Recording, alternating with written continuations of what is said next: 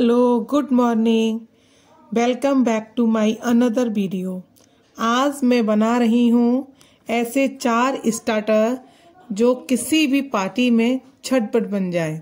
और अब तो न्यू ईयर पार्टी होने वाली है, इसलिए बना रहे न्यू ईयर के लिए झटपट बनने वाले एक ही आलू से चार स्टार्टर जिसे आप तीन से चार महीने तक स्टोर भी कर सकते हो। और जब चाहो तब बनाकर खा सकते हो। मैंने आलू बॉईल कर रखे हैं और मैं पी रही हूँ चाय, क्योंकि सर्दी भी हो रही है ना, इसीलिए। आलू बॉईल हो गए, दो सीटी में अच्छे से आलू बॉईल हो जाते हैं। देखिए, फोक करके दिखा रही हूँ, गर्म में नीचे इसलिए जा रहा है बार बार गिर रहा है। आपको ऐसे बॉईल करने हैं, बस मैसी ना हो मतलब ज़्यादा गीले ना हो, मैंने इसको स्ट्रेन कर लिया। पानी को निकाल लिया है, अब इसको हम मैस करते हैं। मैस किससे करते? चलनी से। मेरे पास बड़ी चलनी नहीं थी तो मैंने वो चाय छानने वाली नहीं है, इससे। इसकी सहायता से हम इसको करेंगे आलू को मैस। और देखिए, इतने अच्छे से हो जाएँगे, क्योंकि फिर नीचे से कोई गुठली नहीं रह जाएगी। इससे जब मकेन्स बनाते हैं, फिंगर्स बनाते हैं, रिंग्स बनाते हैं, या चीज़ रोल्स बनाते हैं, काफ़ी अच्छे से नहीं बनते हैं। इस तरीके से करते हुए सारे आलूओं को हम मैश कर लेंगे। और पीछे से इसको देखिए कितने अच्छे से इसका बैटर निकलता है। वो आलू मैश करते, एक भी गुठली नहीं रहेगी और जैसे आटे का डो लगता है ना, वैसे लग जाएगा। अब देखिए, ये छोटी छलनी थी, इसलिए काफ़ी टाइम लग रहा था। तो मैं क्या करूँगी, मैंने जो इसमें अभी जो आलू मैंने जिसमें से निकाले थे ना, उस छलनी में, उसी छलनी में मैं साफ़ करके सारे अभी मैश करती हूँ मैं। क्योंकि इसमें बहुत एक एक करके लगा रहा है, उसमें दो या चार करके देखिए इस तरीके से।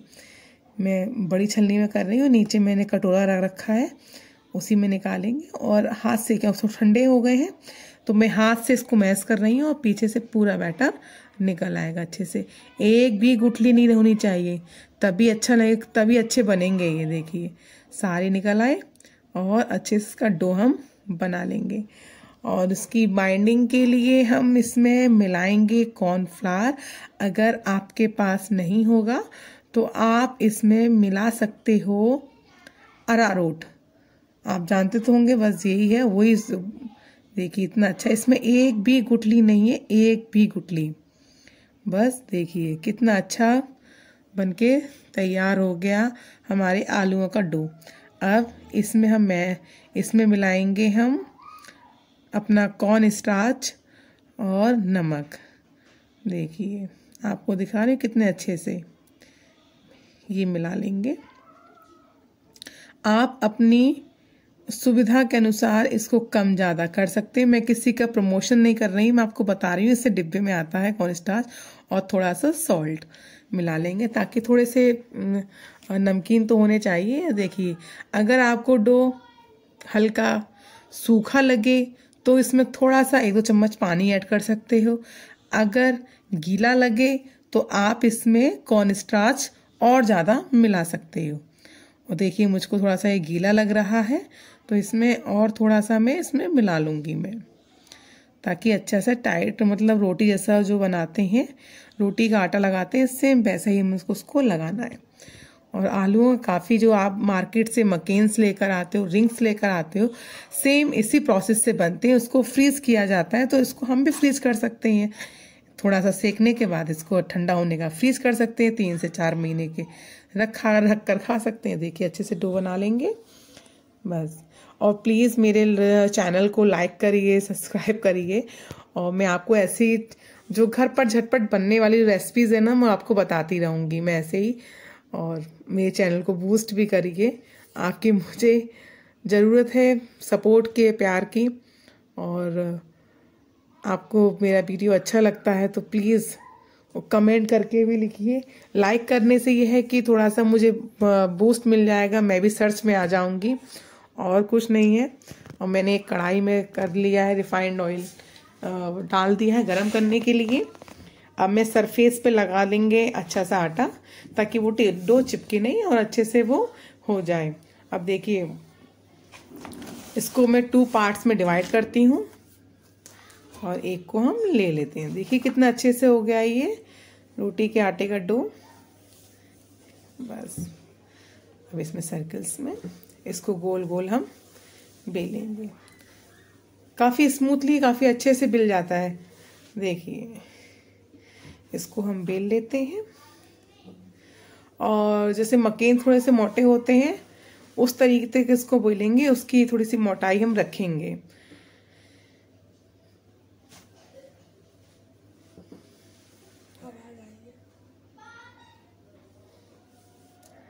देखिए इतना मोटाई रखनी है बस। अब इसमें हम आप, आप गोल गोल इसको हम एक ढक्कन की हेल्प से सर्कल्स कर लेंगे और स्माइली बना लेंगे बस बनाते हैं। और आप भी अपने घर पे बना सकते हैं बच्चों की फरमाइश पर। बस झटपट। मेरे पास ना कटर था कुछ नहीं तो ढक्कन है ढक्कन भी छोटा है तो वो उसमें लग रहा है। छोटे छोटे सर्कल्स काट लेंगे। कट कर लेंगे। मैं जल झटपट सारे सर्किल्स काट कर आपको दिखाती हूँ। देखिए देखिए, सारे। मेरा ढक्कन छोटा है आपसे बता रही हूँ ना जो घर पे जो चीज़ें होती हैं, मैं सारी उन्हीं से बनाती हूँ। मार्केट से ऐसा कुछ नहीं लेकर आती हूँ कि आप जानते ही हो आप के पास जितना है, आप उसी से बनाते हैं, मैं उसी से बनाती हूँ, ताकि हर कोई से ईजिली बना ले।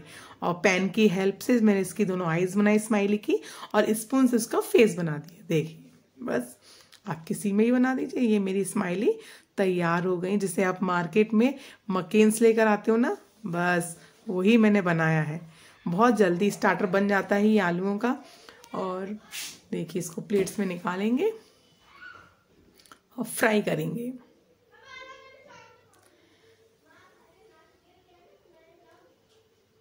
ऐसे करके हम मतलब कई कई जैसे कि इसमें अब इसके इसके बाद मैं आपको बताऊँगी मैंने क्या क्या मैंने बनाया है। एक ही आलू के डोसे, देखिए। मैंने देखा गरम ऑयल हो गया है, अब इसको डालेंगे कलछी तुरंत नहीं लगाएँगे, वरना ये टूट भी जाएँगे, देखिए। ये एक एक करके सारे इसमें डाल देंगे। कितने प्यारे लग रहे हैं जो मार्केट्स में लेकर आते हैं। तो एक तो वो कॉस्टली भी पड़ता है और फिर फ्रोज़न भी होता है। आप इसको ही फ्रोज फ्रोज़न करके रख सकते हो आप देखिए इस, इसमें ना हल्का ब्राउन हो जाए। आप उसको निकाल के ठंडा करके एयर टाइट कंटेनर में उसको तीन से चार महीने तक स्टोर कर सकते हो। जैसे मार्केट्स में लेकर आते हैं। बस देखिए। अब मैं वो बचा हुआ डो था ना उससे मैं बना रही हूँ उसकी फिंगर्स आप कभी भी किसी पार्टी, बर्थडे पार्टी, अपनी मैरिज एनिवर्सरी या कभी कहीं पर भी आप इसको बना के रख सकते हैं। एक बार बनाई और तीन चार महीने तक की छुट्टी। आप इसको बस, मैंने इसको चौकर काट लिया है। बस ये लीजिए। और इसकी लंबी लंबी हम पट्टियाँ काट लेंगे। मैंने ज़्यादा तो नहीं, देखो इसमें मैंने मिलाया हुआ है। आप देखिए, अब बस आप इसको न्यू ईयर पर बहुत जल्दी बन जाएँगे, बहुत जल्दी। यानी कि थर्टी फ़र्स्ट को बनाइए और और उसको एक तारीख को एंजॉय करिए। कभी भी, कहीं पर भी। इसको एयर फायर भी कर सकते हैं, अगर आपके पास है, मेरे पास देखो इस तरह से हो गए। अब इस स्टेज पर आप निकाल कर इसको ठंडा होने तक स्टोर करके रख सकते हैं। लेकिन मुझे तो सेकना था और मुझे तो गोल्डन ब्राउन तक सेकना है, क्योंकि बच्चों को खाना था ना, उनको बहुत अच्छे लगते हैं मकेन्स। तो बस इसको मैं सेक रही हूँ गोल्डन फ्राई होने तक। और ये मेरा दूसरा, पहला ये और दूसरा ये। और फिर आपको तीसरा भी दिखाती हूँ, चौथा भी दिखाऊँगी मैं।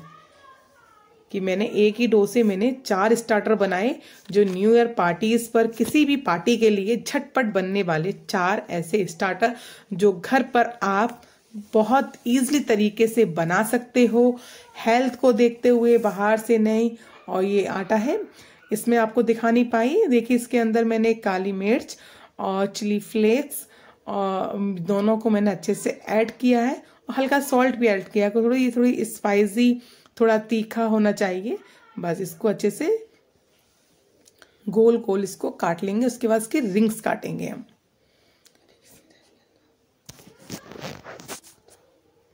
सरफेस पे हमने लगाया थोड़ा सा आटा ताकि अच्छे से चिपके ना और बिल जाए। देखिए, चिली फ्लेक्स और काली मिर्च इसमें मैंने ऐड किया है। वो आपको दिखा नहीं पाई क्योंकि लाइट चली गई थी ना इसी बीच में। अब लाइट आई है तो थोड़ा सा उसी आटे में हमने मिला लिया था। बस इसको हम गोल गोल रिंग्स काटेंगे। तब तक हमारे वो फिंगर्स सिक रहे हैं। देखिए, कितने प्यारे लग रहे हैं ये। और झटपट बन गए। आपके घर कोई गेस्ट भी आए ना, तब भी चार, एक ही चीज़ से चार तरह की डिशेज रखोगे, वो भी बहुत देख के बड़ा हैप्पी हैप्पी हो जाएगा कि बहुत बहुत अच्छा उनका वेलकम हुआ है। इस तरह बच्चों को तो बहुत बहुत अच्छे लगते हैं ये सब चीज़ें। फ्रोज़न भी नहीं, आप झटपट इसको बना सकते हैं। देखिए।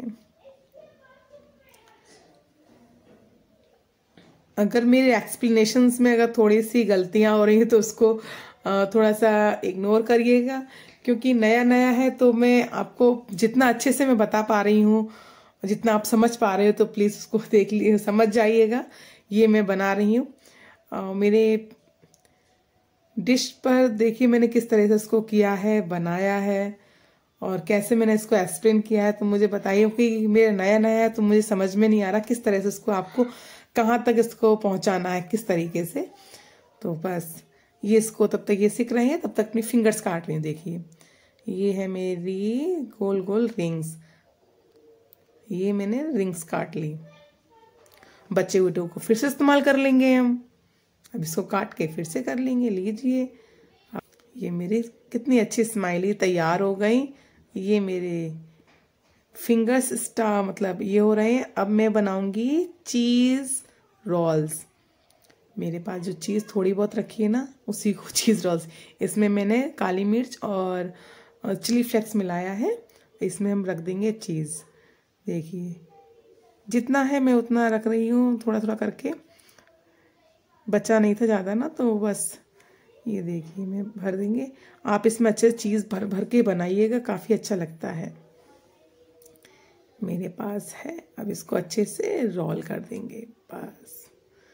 अब बनाएँगे हम चीज़ रोल्स आप लोग कैसे बनाते हैं ये मुझे बताइए, बस. ये बन गए, तैयार हो गए चीज़ रोल्स अब देखिए, मैंने बताया था ना आपको, एक ही आलू से मैंने कितने स्टार्टर बनाए देखिए. एक मकेन्स रोल्स अब ये मेरे रिंग्स और चीज़ रोल्स देखिए. ये भी मैंने बनाए हुए हैं। आप हर किसी को थोड़ा सा हल्का सा ब्राउन होने तक उसको निकाल के फ्रोज भी कर, उसको फ्रोज़न भी कर सकते हैं। देखिए। ये बाद में मेरी बेटी ने कहा, मम्मी, मकेन्स और बना दीजिए। तो उसका मकेन्स के लिए फिर से बचा था बैटर। उन सबको मिला के मैं मकेन्स ही बना रही हूँ मैं। ये मेरी है तीसरी डिश। ये है मेरी तीसरी डिश। रिंग्स अब इसके बाद ये मेरे चीज़ रोल्स इसकी शेप मुझे बहुत प्यारी लगती है बिल्कुल डिफरेंट और डिफरेंट डिफरेंट्स में रखे हैं ना तो देखने वाले, देखने में भी सुंदर लगेगा। अलग अलग स्टार्टर्स भी होंगे पार्टीज़ में भी अच्छा लगेगा। देखिए, ये तैयार हो रहे हैं मेरे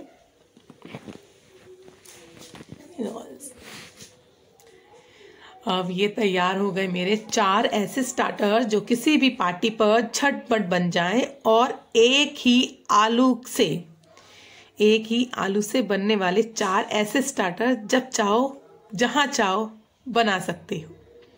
और ये है मेरी प्रेजेंटेशन आपको कैसे लगी? प्लीज़ कमेंट करके लिखिए और देखिए चीज़ी बना हुआ है, काफ़ी अच्छे से देखिए। देखिए देखिए। कितना और ये देखिए ये बड़ा मैंने पकड़ा। आपको देखो आवाज़ भी क्रंची निकलती है। काफ़ी अच्छे आ, मतलब बच्चों को बहुत जल्दी पसंद आने वाले हैं। और बच्चे तो ये सब चीज़ें बहुत पसंद करते